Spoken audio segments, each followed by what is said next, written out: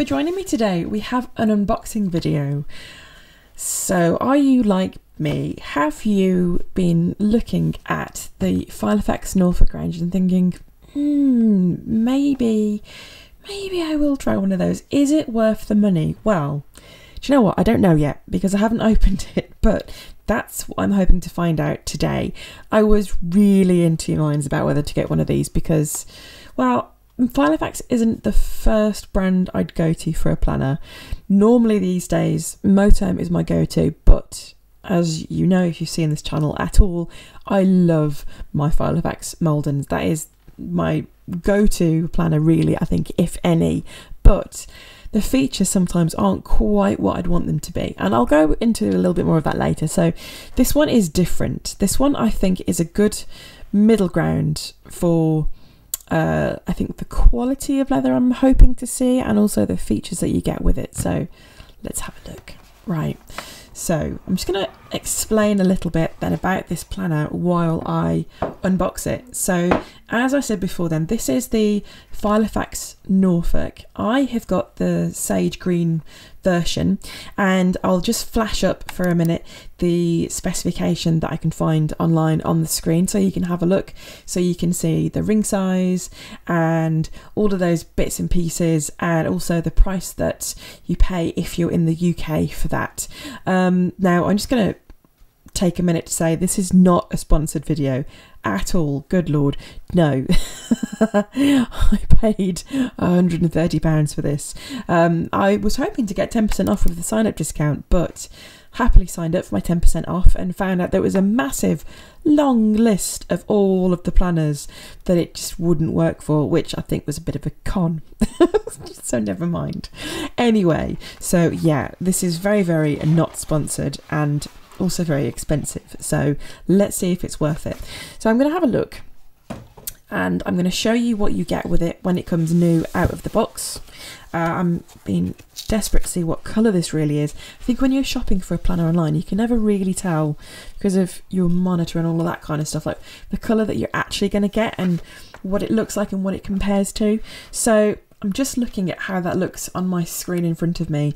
That is pretty true to life actually. So let's have a look.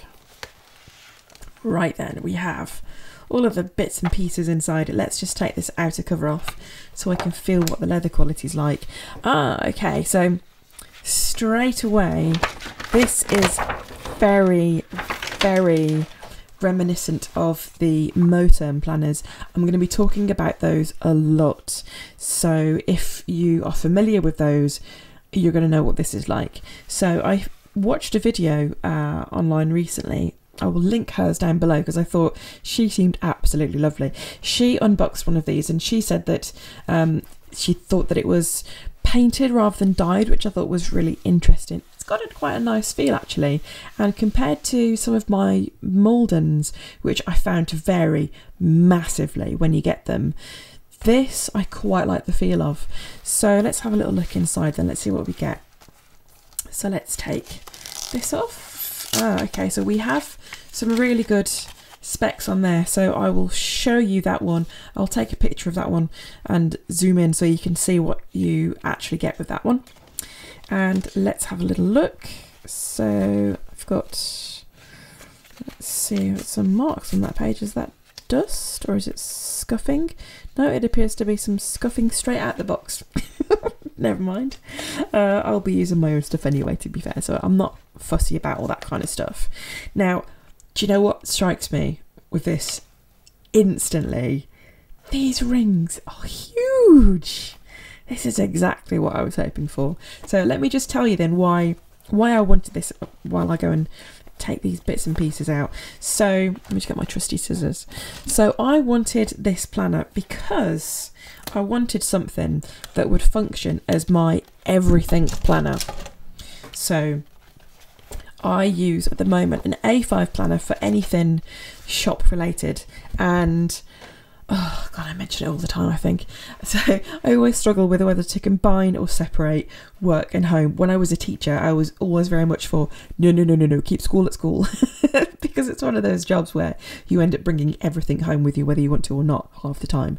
Whereas now now i'm running uh, my shop I really like it. And actually, what I need to do is to make sure that I've got that in the forefront of my mind when I'm not working, so I can just drop in some little bits every now and again, but also vice versa, so that when I'm working, I remember, for example, what I'm going to cook for dinner, what time I have to start working, and all that kind of stuff.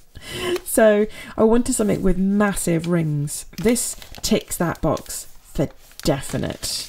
I also wanted something with a slightly different layout really.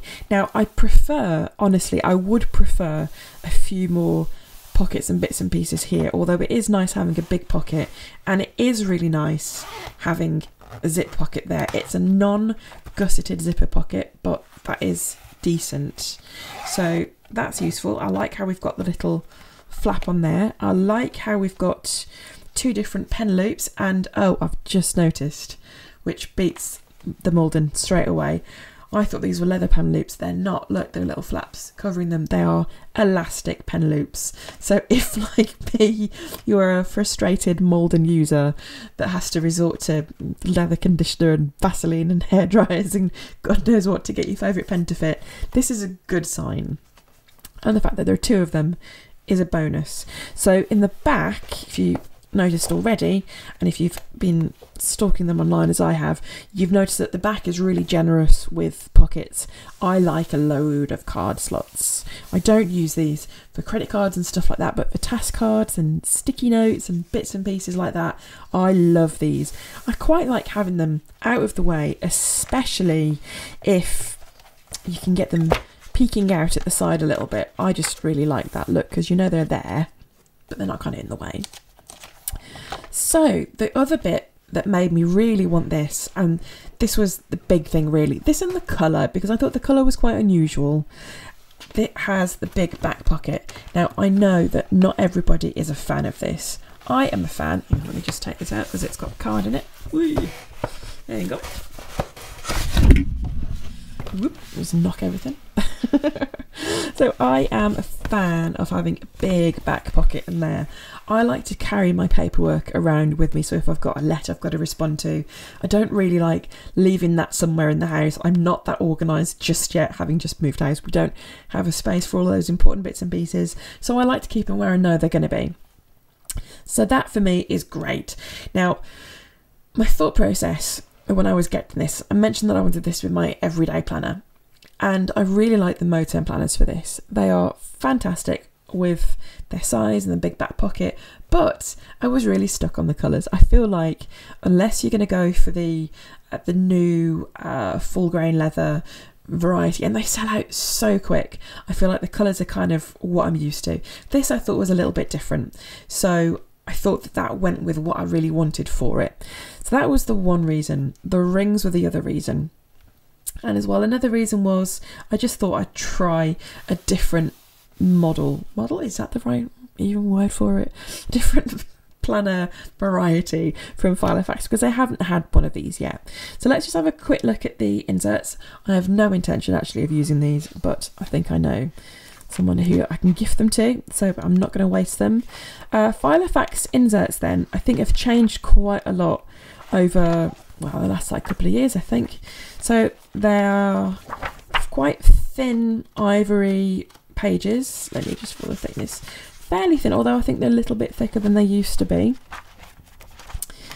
If you have a look at what we've got here then, so you've got a very, very different layout to the ones we get normally. We've got some overview pages. In fact, let me just flick through a whole month because it looks like you've got like a bit of a month pack going on here. So you've got a hello, uh, or September in this case, like a monthly page. You've got some dotted paper, some lined paper, and then we've got looks like your weekly spread going across with from 8 o'clock down to uh, 8 o'clock in the evening. And that looks like what you get. That's controversial. Look at that. Interesting. This is the first time I've seen one of these layouts actually.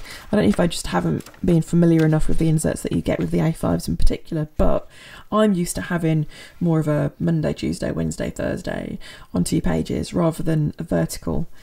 Interesting, because I personally I don't really like using the the time blocks. I prefer having a bit of a blank layout. That's not going to suit everybody, but for some people, I think that'll be a really refreshing change. So that's interesting. What I'll do as well is I will do a bit of a close up picture so you can see this in a little bit more depth.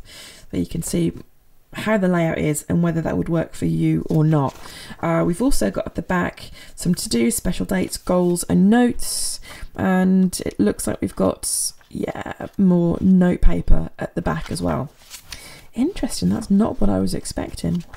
Mm. Learn something new every day. So we've also got at the front, we've got our calendar, so our 2023, 2024 calendar.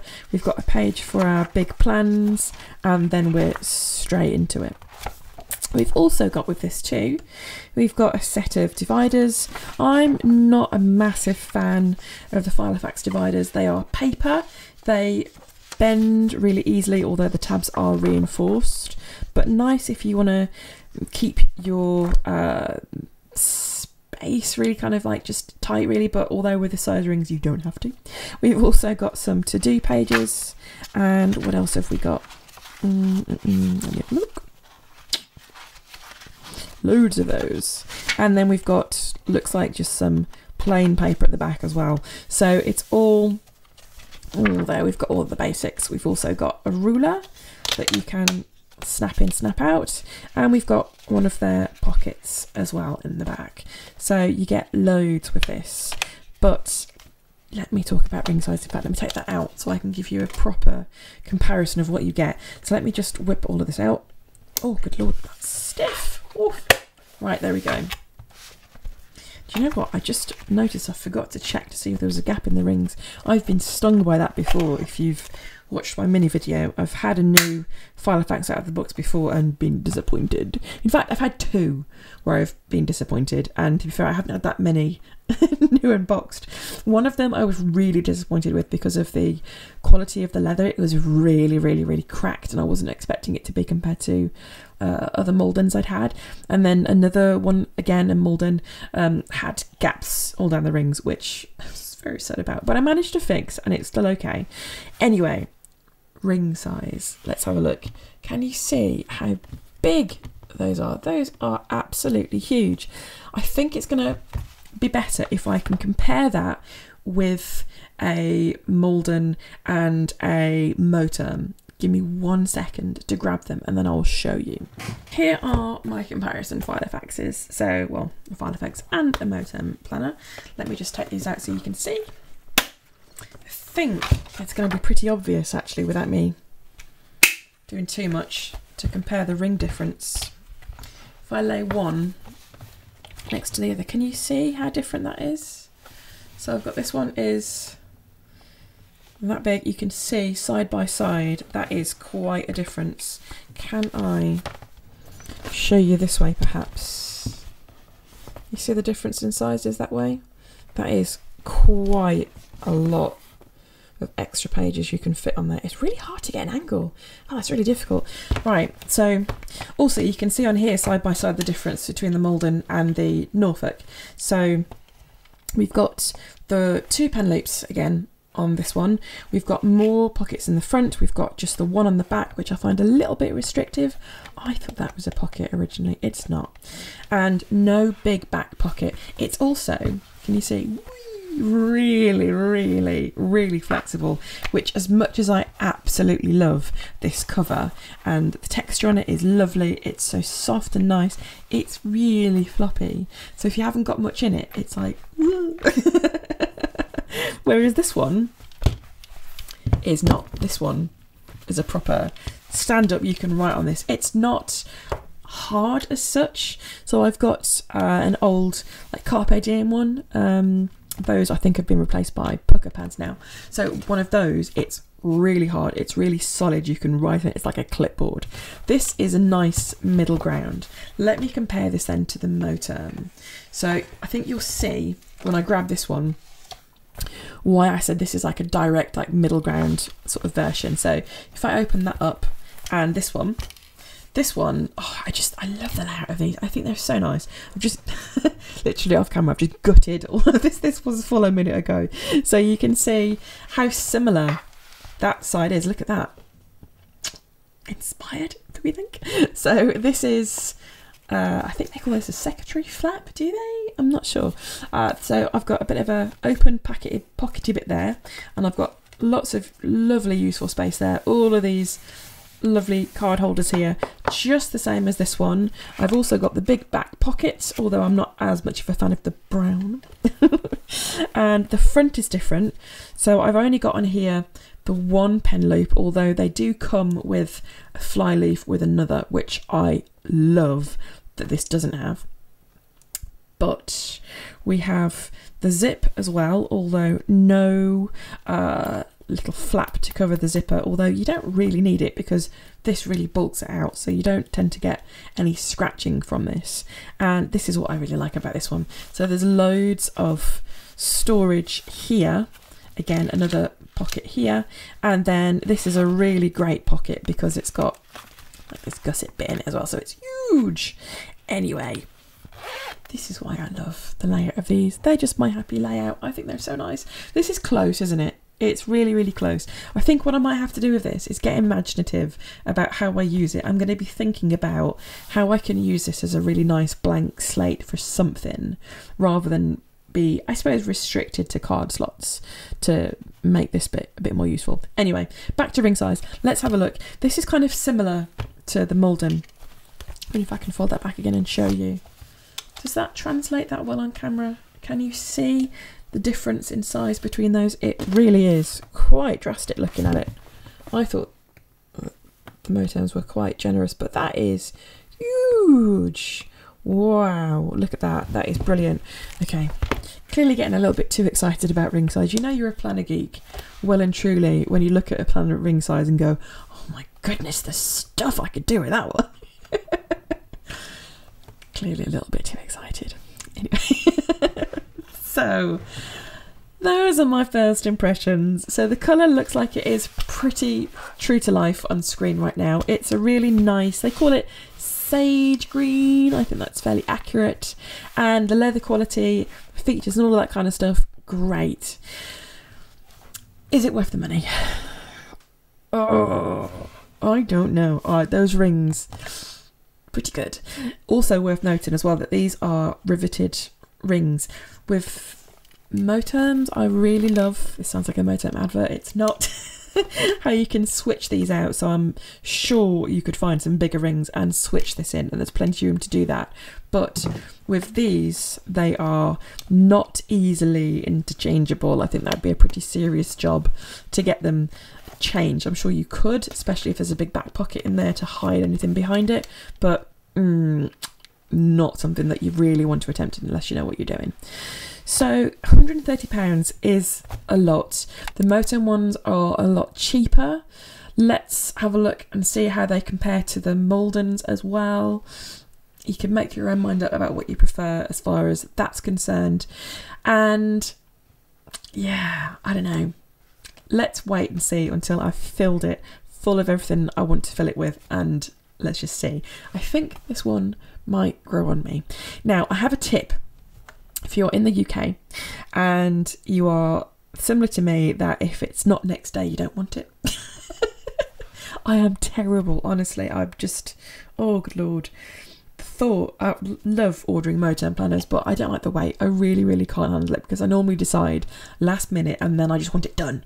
So it's not for me. So i went to the filofax site and i went to try and get one of these and then i realized that they're quickest option was quite expensive and the quickest option wasn't next day and I just thought ah more money and instead what I realized that if I had it delivered I had this delivered to my local uh, Waitrose supermarket it was free and it was next day. So there's my tip. If you don't want to pay the money for this, squeeze a little bit out of that delivery charge because if you don't go direct through the, the Filofax website, if you go to other places that sell them, so John Lewis sells them, lots of other stationery shops sell them, you are going to save a little bit on the postage at least because the Filofax delivery is not cheap. Anyway, right. Let me know what you think. If you have one of these already, I'd be really interested to see. Watch out as well for any variations in sizes. So I think the personal one, I could be wrong. I think the personal one just has the one pen loop, but just double check. Anyway, let me know how you get on with yours if you've got one anyway. I'd love to know about it. And if you want to see what I've done with it, check back on the channel soon. I will be setting this up. I have big plans. It's going to go all springy. Anyway, thank you very much. Hopefully, I'll see you soon. Bye bye.